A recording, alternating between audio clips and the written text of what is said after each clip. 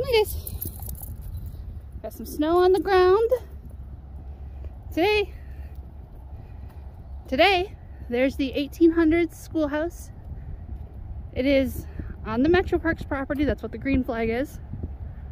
It was moved here for conservation and preservation. We assume, since the schoolhouse is from the 1800s, that that's probably where the teacher kept their horse during the day. Mm -hmm.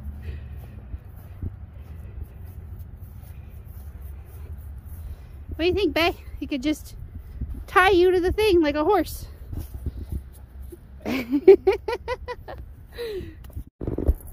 an all brick schoolhouse. I mean, typical 1800s, late 1800s building.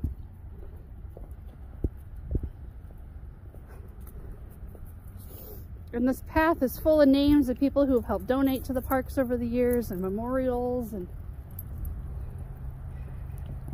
and the schoolhouse right now is surrounded by this beautiful forest. So that is the belfry up at the top.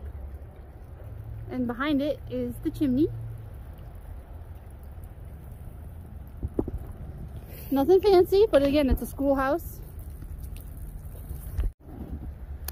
So we think these back here behind it may have been outhouses at some point in time.